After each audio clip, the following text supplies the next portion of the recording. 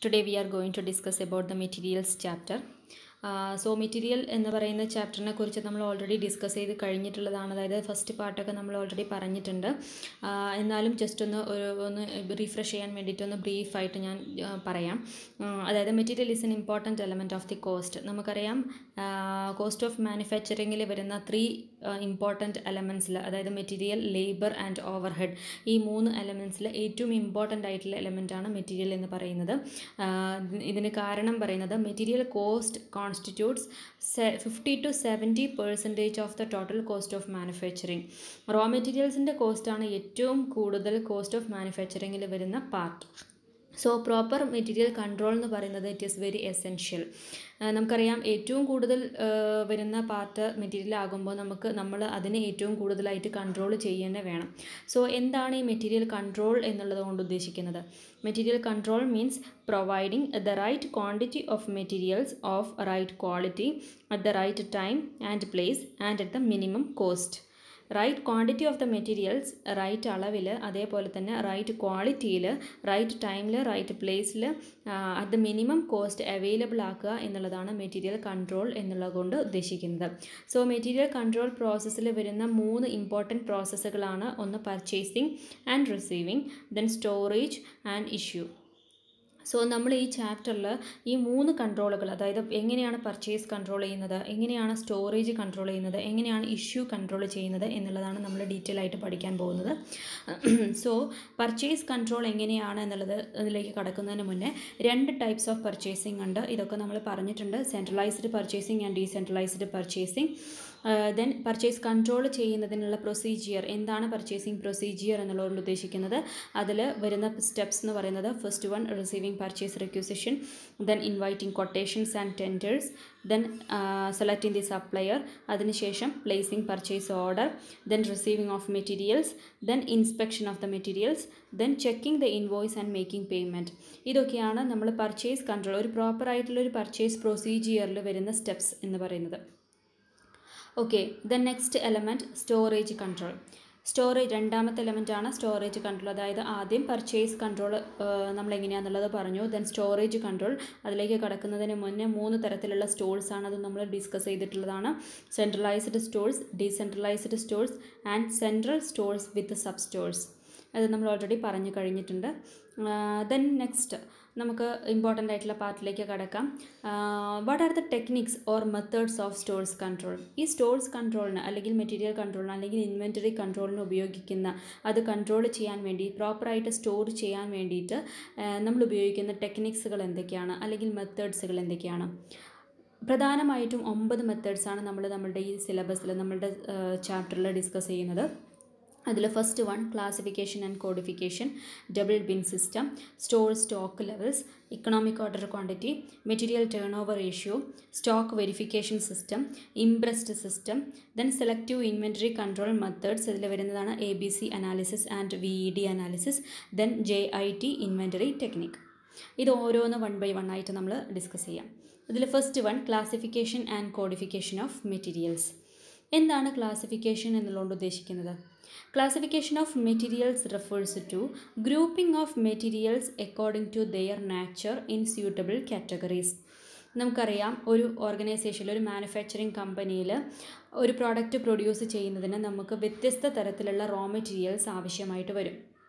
ആ റോ മെറ്റീരിയൽസിനെ തന്നെ നമുക്ക് പല തരത്തിലായിട്ട് ക്ലാസിഫൈ ചെയ്യാം. അതായത് ഏറ്റവും ഇമ്പോർട്ടന്റ് ആയിട്ട് വരുന്ന പാർട്ട് ആ റോ മെറ്റീരിയൽസിനെ തമ്മിൽ കണക്ട് ചെയ്യിക്കാൻ വേണ്ടിയിട്ട് നമ്മൾ ഉപയോഗിക്കുന്ന പല ടൂൾസ് ആൻഡ് ടെക്നിക്സ് അല്ലെങ്കിൽ അസംബിൾ ചെയ്യാൻ നമ്മൾ ഉപയോഗിക്കുന്ന മെറ്റീരിയൽസ് അങ്ങനെ പല തരത്തിലുള്ള പല കാറ്റഗറി ഓഫ് മെറ്റീരിയൽസ് നമ്മളൊരു ഓർഗനൈസേഷനിൽ ഒരു മാനുഫാക്ചറിങ് ഇൻഡസ്ട്രിയിൽ നമ്മൾ യൂസ് ചെയ്യും.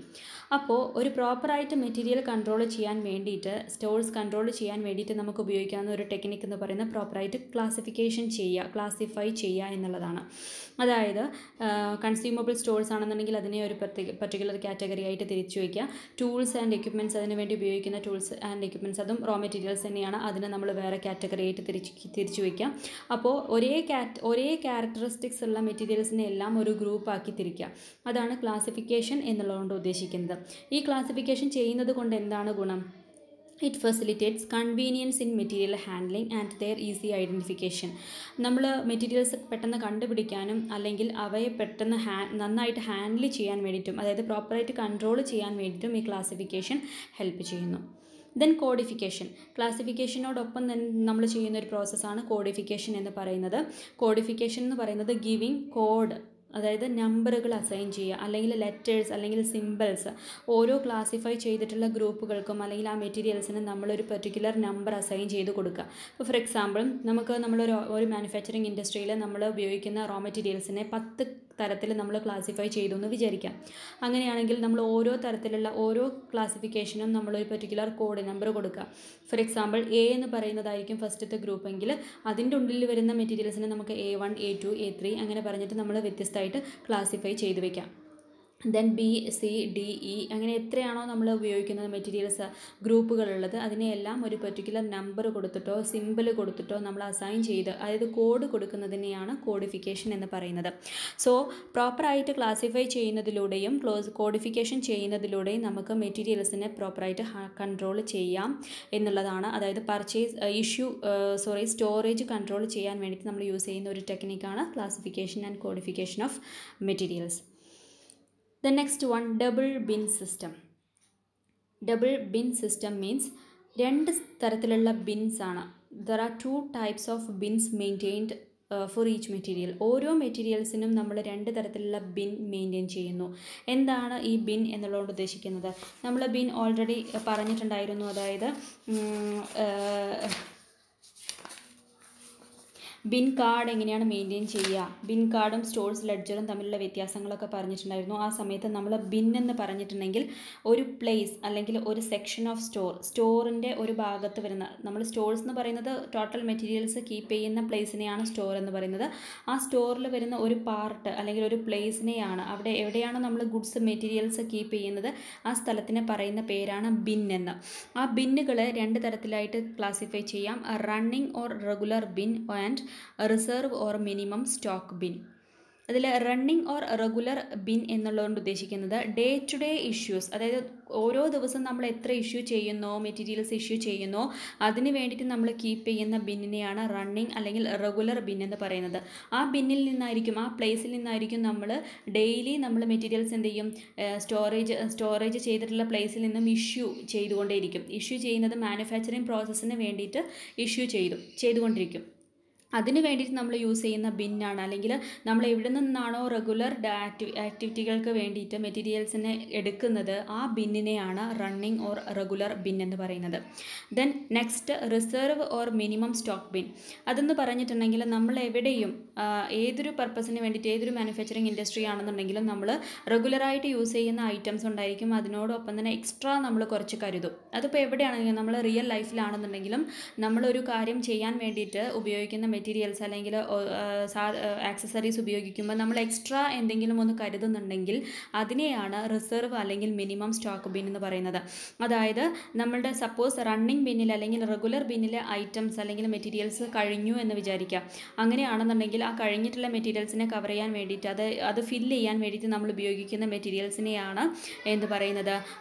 Reserve or minimum stock bin എന്ന് പറയുന്നത്. അപ്പോൾ അങ്ങനെ രണ്ട് തരത്തിൽ നമ്മൾ ബിന്നുകൾ മെയിന്റെയിൻ ചെയ്യുന്നത് വഴി പ്രോപ്പറായിട്ട് നമുക്ക് സ്റ്റോഴ്സ് കൺട്രോൾ ചെയ്യാം എന്നുള്ളതാണ് പറയുന്നത്.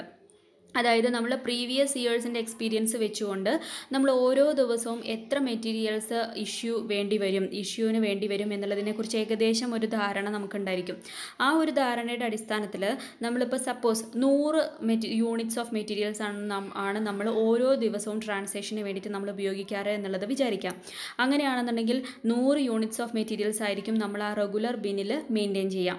ആ നൂറ് യൂണിറ്റ്സ് ചിലപ്പോൾ നമുക്ക് അന്ന് അന്ന് ഓരോ ദിവസവും ചിലപ്പോൾ ചിലപ്പോൾ മതിയാകാം അല്ലെങ്കിൽ ചിലപ്പോൾ ബാക്കിയാവാം അല്ലെങ്കിൽ ചിലപ്പോൾ നമുക്ക് തികയാതെ വരാം.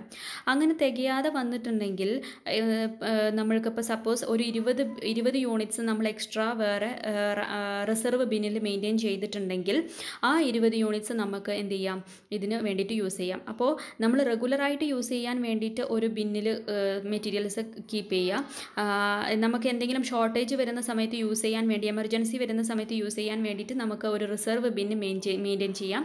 അങ്ങനെ രണ്ട് തരത്തിലുള്ള മെയിൻ ബിന്നുകൾ മെയിന്റെയിൻ ചെയ്യുന്നത് വഴി പ്രോപ്പർ ആയിട്ടുള്ള സ്റ്റോഴ്സ് കൺട്രോൾ ചെയ്യാം എന്നുള്ളതാണ് പറയുന്നത് so this is the second technique double bin system.